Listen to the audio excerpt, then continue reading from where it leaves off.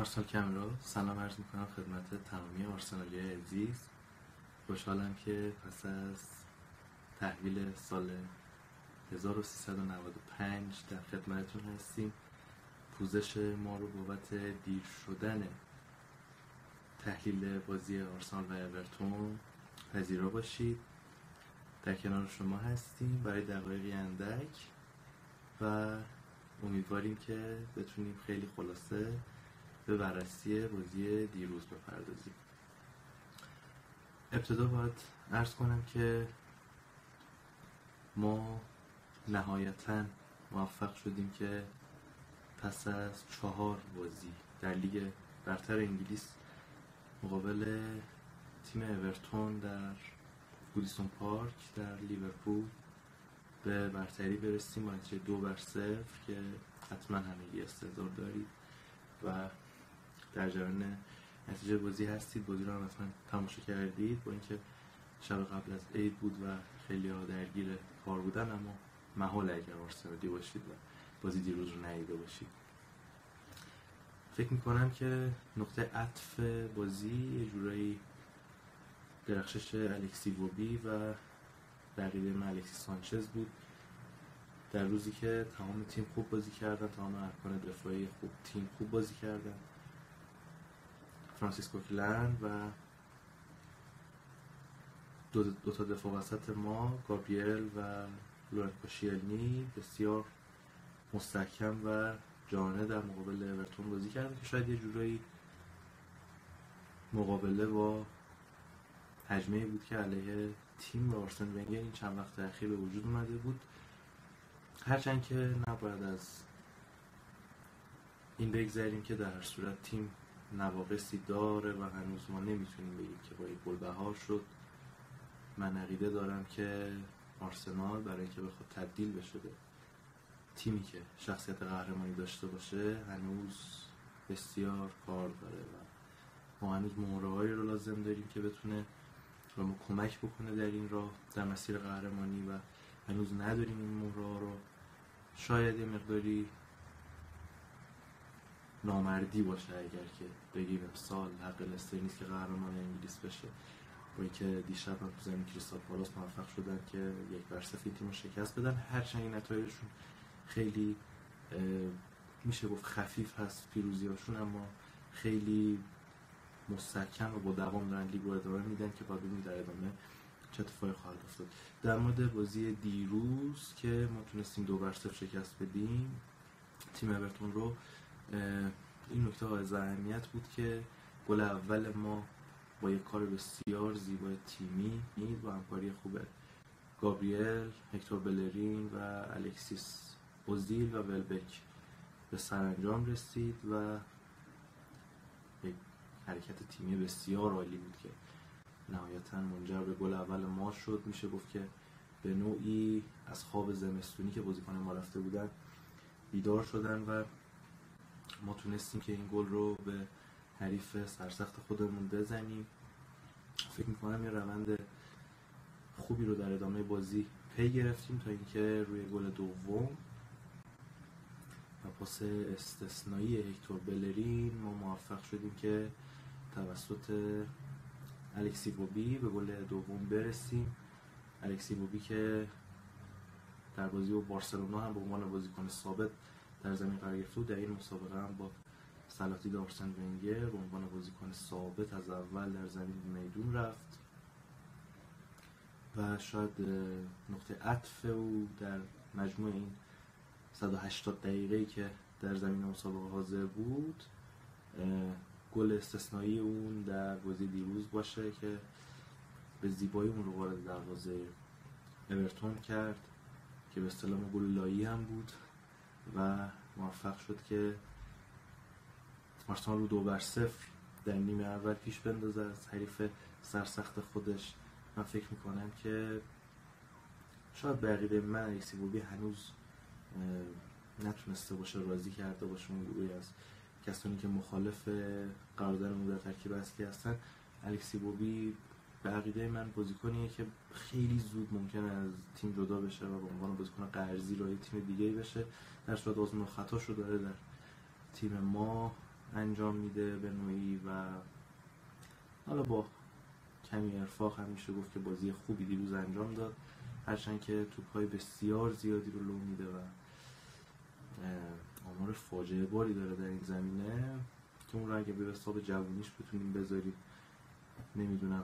بی تجربگیش یا هر چیز دیگه در این هست که ایشون فکر نمی کنم اگر بنا به تغییرات در کادر فنی باشه خیلی دوون بیاره تو تیم ما و در صورت همین قضیه دیروز تونست گل مهم و حیاتی ما با لحاظ لستر بکنه یک اتفاق مثبت بود و یک point مثبت برای ما در گودیسون پارک که تونستیم این تیم رو در فصل 2015 2016 double بکنیم. بازی رفت رو هم دو بر یک برده بودیم در امارات که بازی بسیار سختی بود تا دقیقه آخر هنوز معلوم نبود که ما بتونیم بازی رو ببریم ولی در بازی برگشت برخلاف اون چیزی که همه فکر می‌کردن روملو لوکاکو بسیار نمایش بدی داشت و یا شاید مدافعین ما خیلی خوب عمل کردن. نباید از بازی خوب خودمون به رتی بگذریم. فکر می‌کنم که ادامه این روند می‌تونه به نوعی یک سکوی پرتابی باشه برای تیم آرسنال در ادامه بازی که داره با توجه به اینکه بازی های باقی مونده بسیار بازی های ساده ای هست. شاید بازی برابر واتفورد و کمی بست هم که البته در آپتون پارک بازی بسیار دشواری رو داریم. یکی از مهمترین بازی خارج از خونه ما در فصل می‌تونه باشه. شاید هم به نوعی بتونیم بگیم اگر اینجای فصل که قرار گرفتیم بازی با وست هم در آپتون پارک می‌تونه مهمترین بازی فصل ما باشه. ارز کردم که ما بعد از بازی با لستر تونستیم که دومین پیروزی خودمون رو در ماه مارچ به دست بیاریم. البته برد آخرمون برابر لستر در ماه فوریه بود که بعد از اون متاسفانه هم در جام اروپا هم در جام حذفی و هم در لیگ ناکام بودیم. در لیگ دو شکست پیاپی داشتیم برابر منچستر یونایتد و سوانزی که به نوعی ما رو از قهرمانی دور کرد اونطور که تمام کارشناسا عقیده دارن. ما به عنوان یک هوادار همین حس رو داریم من فکر می‌کنم با توجه به اینکه لستر دیشب موفق شد که تیم کریستال پالاس رو شکست بده با اینکه حریف بسیار سخت سرسختی هم بود اما ایجاد اختلاف 11 امتیازی با یک بازی بیشتر نسبت به تاتنهام و اختلاف 11 امتیازی نسبت به ما که البته با یه بازی بیشتر هست. یعنی ما می‌تونیم با انجام بازی عقب افتادن برای وستبروم این فاصله رو به 8 برسونیم و به حداقل برسونیم که بازم در صورت کار دشواریه اما می‌تونیم امید داشته باشیم که لستر در صورت در سه بازی پایان فصلش و حتی در چند بازی باقی موندهش دچار مشکل بشه و دچار تزلزل بشه اما نباید از تاتنهام هم بگذریم. خیلی راحت من فکر کنم جدیترین رقیب قهرمانی در بین سه تیم بالای جدول قطعا تیم تاتنهام هست با وجود اینکه لستر شاید بتونم بگم هنوز از دید ما نمی‌تونه تیم قهرمان امسال باشه. کافی نگاه به نتیجه این تیم بندازید. من البته نمی‌خوام که از این تیم کم بکنم اما واقعا نمیشه. لستر رو هنوز در حد قهرمانی دونست هفت بازی مونده و نمی‌خوام بگم که حالا ما هم می‌تونیم برگردیم. شاید رقابت اصلی بین تاتنهام و لستر باشه. این فصل با توجه به اینکه تاتنهام بازی های نسبتا ساده رو هم داره نسبت به لستر و شاید این اختلافی که به وجود اومده اختلاف امتیازی که به وجود اومده دور از دسترس نباشه که توسط تاتنهام کم بشه و یه نیم نگاهی هم ما شاید داشته باشیم به عنوان قهرمانی اما بینندگان عزیز هواداران محبوب هواداران عزیز تیم آرسنال من مجددا تاکید می‌کنم که ما اینجا هیچ کدوممون ضد آرسن ونگر نیستیم ما هیچ کدوممون اینجا دشمن خونی آرسن ونگر نیستیم اما باید قبول کنیم که آرسن ونگر در آرسنال حتی اگر امسال عنوان قهرمان لیگ رو به دست بیاره نمی‌تونه که گزینه اول برای هدایت تیم در فصل های آتی باشه چه در فصل 2016 17 چه در فصل بعد از اون که قرارداد ایشون به اتمام می‌رسه. اگر مبنا بر مبنا بر تمدید قراردادش باشه من فکر می‌کنم که باید برای اولین بار هم که شده کنار هم حداقل این رو قبول بکنیم که آرسنال نیاز به تعویز مربی داره و تفکرات در این تیم باید به نوعی تغییر پیدا بکنه. از حالت حالا من اینو می‌تونم صراحتا عرض بکنم که از حالت ترسو بودن ما باید به نوع خارج بشیم. تیم ما کمی ترسو هست شاید مبنی بر تفکرات آرسن وینگر باشه با توجه به اینکه سن بالایی هم داره. از ارزش فنیش نباید کم بکنیم اما این شوک های مقطعی که به تیم وارد میشه هر فصل داره وارد میشه. ما امسال بازی اورتون رو در چند فصل اخیر هم داشتیم. در فصل 2013 14 وقتی که ما برابر همین اورتون به نوعی قهرمانی لیگ رو تقدیم کردیم به تیم های دیگه و فاصله که می‌تونست با هفت امتیاز اختلاف در صد ایجاد بشه حداقل از دست دادیم و بعد در ادامه لیگ متاسفانه برابر چلسی شکست بسیار بدی رو تحمل کردیم و برابر تیم های دیگه. اما بعد از اون شوکی که در هواداران در لندن ایجاد کردن باعث شد که تیم چند بازی رو پشت سر هم ببره و عنوان چهارمی رو به دست بیاره در صورتی که تیم های مثل لیورپول و حتی منچستر سیتی که قهرمان اون فصل شد شاید به نوعی فکرش هم نمی‌کردن که بخوان نزدیک آرسنال بشن. کما که فراموش نکنیم آرسنال در اون فصل تا قبل از شکست پنجک برابر لیورپول.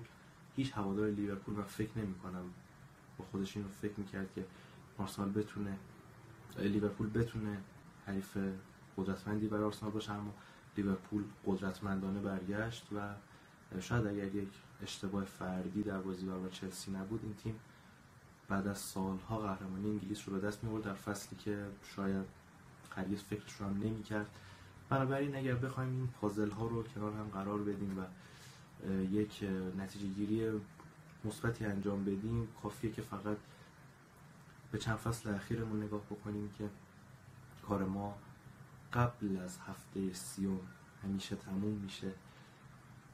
های بعد از اون بیشتر برای کسب سهمیه هست همونطور که در کنفرانس مطبوعاتی آرسن ونگر هم این رو دیدیم در بعد از بازی با بارسلونا چیزی که آرسن ونگر اشاره کرد که البته به طور دقیق کنفرانس مطبوعاتی قبل از بازی با اورتون بود ایشون اعلام کرد که ما حتی از کسب عنوان کسب سهمیه لیگ قهرمانان فصل دیگه هم اطمینان نداریم.